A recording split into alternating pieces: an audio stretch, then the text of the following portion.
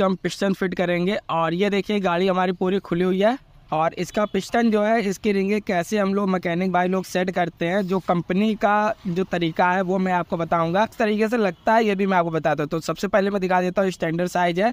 इसमें मैंने स्लिप लगाई है, क्योंकि ब्लैक ब्लॉक किट जो है नहीं चेंज कराई है स्लिप लगाई है स्लिप सक्सेज होती है इस वजह से। फ्रेंड तो ये देखिए, ये हमारे पास पिस्टन है और ये देखिए इनलेट इनलेट मतलब होता है आपका कार्बेटर साइड और ये होता है सलेंसर साइड ठीक फ्रेंड?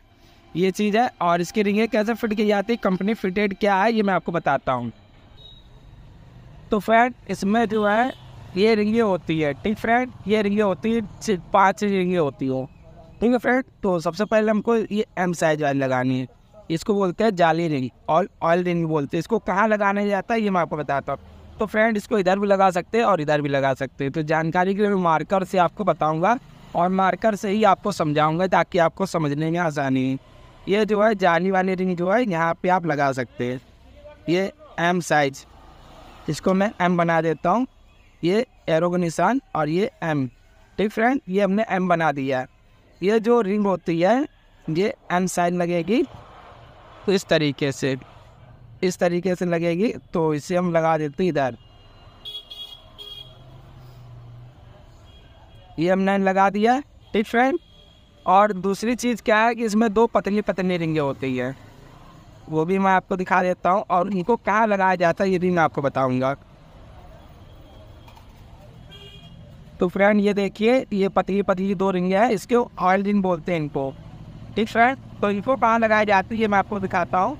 तो इनको लगाने का सिस्टम होता है ये छोटे वाले वाल पे।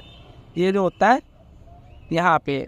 ठीक फ्रेंड एक जो है इस सिरे पर लगेगी और एक जो है इस सिरे पर लगेगी। ये जो यहाँ पे निशान बना हुआ है, इस सिरे पे। ठीक फ्रेंड, एक इस सिरे पर लगेगी, एक इस सिरे पर लगेगी। तो चलिए हम इसे फिट कर देते हैं।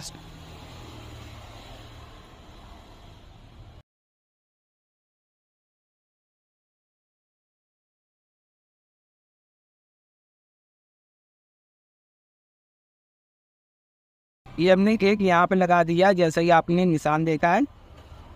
और एक को जो है हम यहाँ पे लगाएँगे, जैसा कि आपने निशान देखा है। ये निशान मैं इसीलिए लगा रहा हूँ ताकि आपको गाड़ी का जो रीगे है, सेटिंग समझ में आनी चाहिए। ठीक फ्रेंड, ये हमने लगा दिया। अब हम क्या करेंगे? अब हम ये जो यहाँ पे ऊपर साइज़ है, ये देखिए, ये ऊपर साइड कट बना हुआ है ये नीचे साइड कट बना हुआ। है तो हम नीचे साइड वाला जो कट है उसको इधर। और फ्रेंड अब बचा हमारा ये टॉप वन टॉप टू इसको किस तरीके से लगाना ये मैं आपको बताता हूँ। तो जैसा कि आप लोगों को पता है, यहाँ पे ये कट का निशान बना हुआ है नीचे साइड और यहाँ पर ऊपर साइड बना हुआ। तो ये ऊपर साइड जो बना हुआ है, उसी का अपोजिट साइड यहाँ पे एक हमको लगाना है। ये यहाँ पे, ये जो कट बना हुआ है, यहाँ पे लगाना है एक रिंग तो यहाँ पे कौन सी लगेगी, ये मैं आपको बताता हूँ। तो यहाँ पे टॉप टू लगेगी। ठीक है फ्रेंड तो इसे हम लगा देते हैं।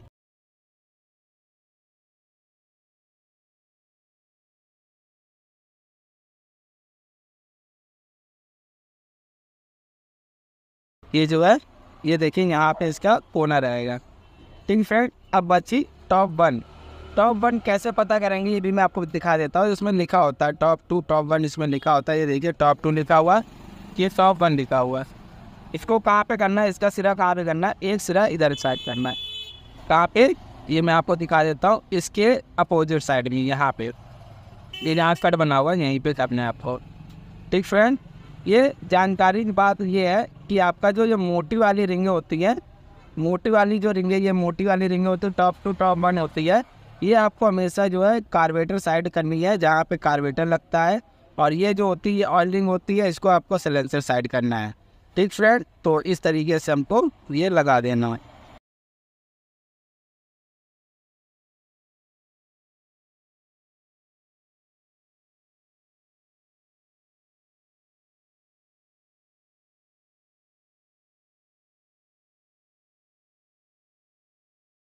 ये देखिए फ्रेंड ये हमने फिट कर दिया।